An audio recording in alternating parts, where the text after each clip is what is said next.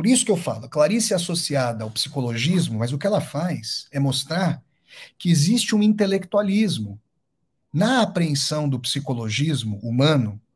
Basta pensar, por exemplo, na psicanálise.